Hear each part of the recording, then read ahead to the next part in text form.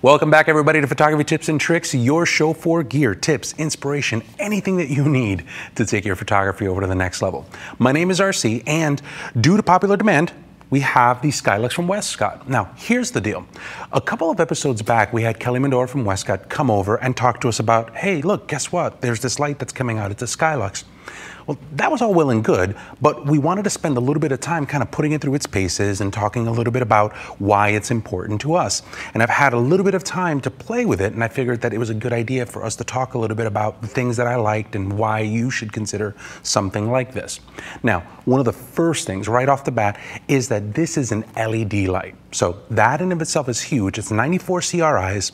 And what you have here is something that's going to have a low power consumption and is going to be a very, very cool light. So for starters, that's something that's really good. If you're in a small studio or if you're using a house, you know, a room in your house, you don't necessarily want to have a whole bunch of hot lights. It makes it really, really hard for you to work. And sometimes you kind of want the dimmability of a fluorescent light. Like if you use like a TD5, TD5s were a little hard to control. You'd have to turn one light, turn two lights, turn three lights. You don't have to do that now. So you have one very simple switch. You just go from one side to another, and that's it. There's nothing really that much to it. So that's the first thing that I thought that was really nice. It was an LED light. Uh, the mount accepts a ton of different modifiers. Right now we're using this Rapid Box from Westcott. Why do I like this?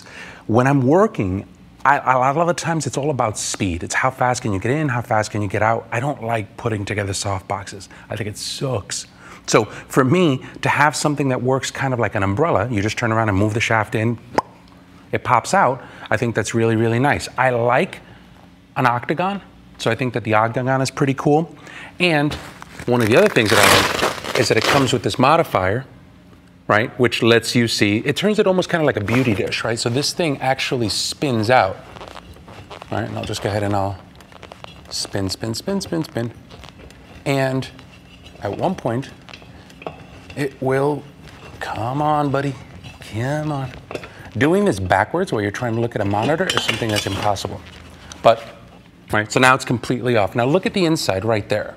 Inside of there, you see how it's frosted, right?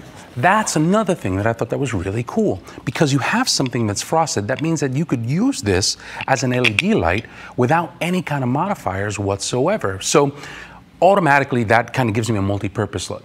Now, it's also 5600K, so it's daylight balance, which means that not only can I use this for photography, but I can also use this for video.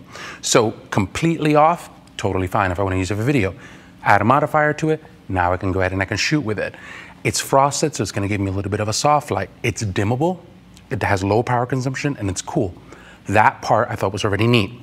Now, I've tied this with a second light. Now, the second light that I have here is also a Skylux, and right here we have this one. Now, this one's outfitted with a barn door, and I thought that it'd be a good idea for us to talk a little bit about why you would use this, kind of a tip within a tip.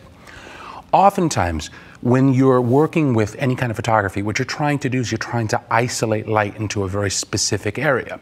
So what'll happen is you'll light a subject, subject looks like it's fine, but then you'll try to light a background element, or you'll try to light, you know, a part, you know, some hair or a shoulder or something like that.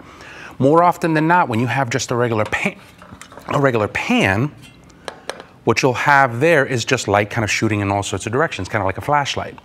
The best addition I think you can make to your lights is this. It's called a barn door, right? They've been around forever. And what they do is they let you modify how you have that light spill, not only going backwards, but also going forwards. I'll explain. I'm gonna turn this on. Now, take a look at my shirt right here, right? You'll see that there's a little bit of light spilling on the shirt. As I move back, no more light. But if I need to add more light, all I'm doing is just flipping this barn door back and forth. More light, less light, more light, less light. So now you have the option to control how much of that light hits a background. And I'm just kind of making sure I'm looking at your monitor to make sure that you guys are actually seeing the difference there. Now, that's how to control background light. But look at this. If I do this, right, and you have your lens right? Looking at that kind of light that spills back towards you is going to cause flaring. So you're going to lose contrast, you're going to lose color. That's going to be a pain. By having a barn door set, you can actually flag your light a lot better and control how much light is coming back to your lens. So this is something that isn't specific to Skylux. This is a very generic uh, photography thing, something that is a worthwhile investment whenever you're working with these kind of lights. Now we did a shoot. We had this Skylux with the Rapid Box set up as one main light. Then we had this set up here for a secondary light. Now, before I kind of move into showing you the shoot, I did want to talk to you about a couple of other things that I thought were great about this. When you're using any kind of lights, a lot of the times I tell people make sure that you don't stress out the connections that you have in the back of your units, right? Any kind of unit that you have, any kind of tugging and towing that happens, you want to make sure you minimize that. So I thought that it was really neat that they added a cable and the power pack sits very separate from this very long cable, right? So now when you're adding this, you're not necessarily adding a lot of stress to this one unit. So it makes it a lot easier. One of the other things that I think that's really cool is that now you can fly this a lot higher and you don't necessarily have to worry about how much weight is being pulled down to this. What I'll do when I'm setting up something here as a light, it's probably not the safest thing to do in the world, is I'll tie a knot around something and then I'll add the connection to the light. And I'll do this for whatever power cord that I'm doing there. By tying a knot there, what that'll do is that'll make sure that all of this tension stays away from that and I'm making sure that I'm not breaking my light unnecessarily. So that's it. I thought this was a really, really nice thing, but that's something that you can do with pretty much whatever light you want to work with. That sets up our main light. We have a barn door. If you want more information just on the technical details of it, obviously you can go over to the Westcott site, go to fjwestcott.com, and you can find a bunch of information on that one light. Now, let's go ahead and take a look at a little bit of what this shoot looked like. So we have this light, right? So it's all set up there. I'm gonna go ahead and I'm gonna switch over to my Lightroom and I'll just show you kind of what the shoot looked like, right? So there I am. Yes, I'm balding, I know. So in this one section here, there's our main light. These are the studio cameras that we use, so don't worry about that. That's just that. There's our main light. It's being used on the subject. My friend Mia's kind of sitting back there. And there's our secondary light. We were playing with this light and we were just kind of adding a little bit of accent light for her hair. So let's go ahead and just turn that down, go over here, I'll show you this, right? So there she is, right? I'm shooting. Now, if it were me, I would have photoshopped that a long time ago. so uh, there's our secondary light, so that's pretty much fine. Now, from another angle, this is what it looks like, right? So there's the rapid box hitting her. Looks like we're using it for the face. Now, once I have all of that stuff done, what does that look like after the fact? There's our shot, right? So out of camera, no adjustment in Lightroom, no playing around. Pretty easy, simple shot. Now all I did for this is just brought it in just a little bit tighter. I'm bringing in a little bit tighter, looks pretty good. So I like the fact that it's a lot easier to work with. I like the fact that you can, it's pretty much a what you see, what you can get. Uh, it makes it a lot easier to be able to work. I like the fact that they don't flash. I think sometimes when people are working in kind of portrait stuff, the entire pop, pop, pop is a bit of a pain.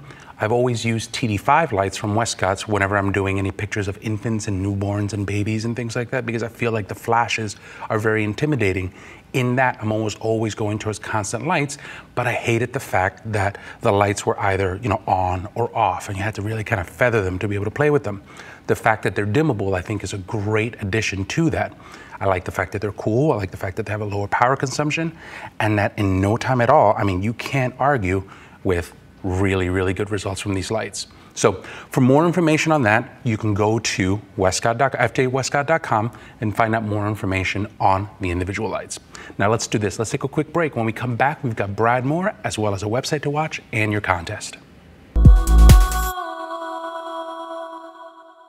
Get the world's best photography, lighting, and Photoshop training at Photoshop World. Here's the top 10 reasons you should attend. It's three non-stop days of real-world training where you can get personal attention and unlimited access to the world's top instructors in Photoshop and photography. When you attend, you'll have chances to experience hands-on live shoots and workshops, outrageous after-hours parties and events, and hundreds of classes for all skill levels, along with dozens of opportunities to network with other attendees in depth one on one portfolio reviews from industry professionals, and see new cutting edge technology. Plus, you can even earn continuing education and graduate level credits from attending.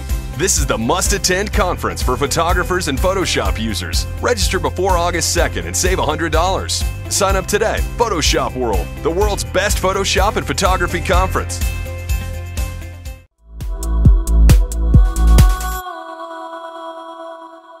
Welcome back, everybody. Photography Tips and Tricks RC here now. Before I toss it to Brad Moore for a live grip tip, I wanted to talk a little bit about the camera and the gear that I used to make the shot. So we were using an SLT camera. This is a Sony Alpha 99 camera, and we we're using a 70 to 200 lens. Now, the shutter was set at 100, f-stop is at 3.5, and it was shooting at 400 ISO. Here's a little mini tip whenever I'm shooting something, I try to make sure that the shutter speed that I have stays above whatever the zoom that I have on the lens. So in this case, I was doing a headshot. I moved it to about 100 millimeters to get it a little bit tighter. And I wanted to make sure that at any point in time, that shutter stayed at 100 or higher. In this case, 100 worked out okay.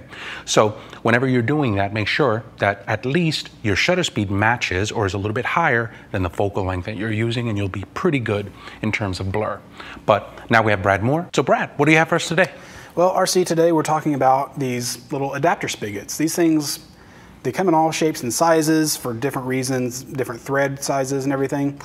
They range in price from maybe three or four dollars all the way up to about nine or ten dollars. And the reason you want kind of a variety of them is because depending on what kind of equipment you're using, you might need different thread sizes and different lengths of these. So like, for instance, I like to put a light on a monopod, but this monopod, it's got a kind of a bigger thread mount than what is on the bottom of my hot shoe flash stand. It actually will unscrew and turn around, but if you have a monopod that doesn't do that, then you can grab one of these guys goes from a big thread to a small thread, put that on, and then screw your flash right onto the light, hand it to your assistant or whoever, you got a portable, you know, a VAL, voice activated light stand. Or if you wanted to use it, use a bigger light with it that doesn't have like a screw on the bottom of it, you can, as these are rolling around the table, you can add a, another one to it, screw that guy on. So now you've got some extra length to put this on, screw that on, sorry, and now you've got a studio light on the go. Now if you're working in the studio or you want to have a background light, you can get a background stand like this. It just sits right on the floor, really low. Then you've got, sorry, this guy, longer one, drops right down into it. Tighten that up. Put that on. Now you've got a background light. What if you want to use this as your main light and then you've got a speed light that you want to use as your background light? That's why you've got the thread mount here. That screws right on. Now you've got background light and a main light.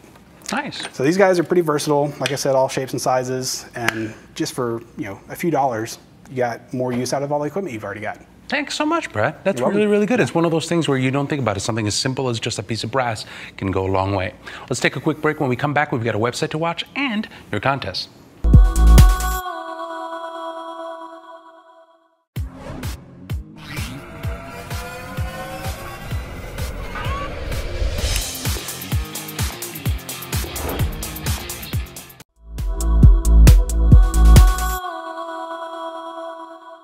Welcome back, everybody. Photography tips and tricks. RC here. Now, I have a website I want you to take a look at. I want you to go to photoshopworld.com slash webcasts. This is a webcast, a special show that we're doing to talk to people about what kinds of things to expect at Photoshop World. So if you're on the fence about going, you're thinking about it, there is no better reason for you to join now. You have to take a look at this show. This is something that we also have tips on Photoshop and photography and things like that embedded. So it's not just going to be a giant commercial for it. You're going to get a lot of information, a lot of free stuff, a lot of giveaways, and there's no reason not to. So make sure you go to photoshopworld.com slash webcasts. Now, for the contest, this is what I want you to do. I want you to go to kelbytv.com. Once you go there, go to photography tips and tricks. You want to find the most recent episode. In this case, it's episode 34.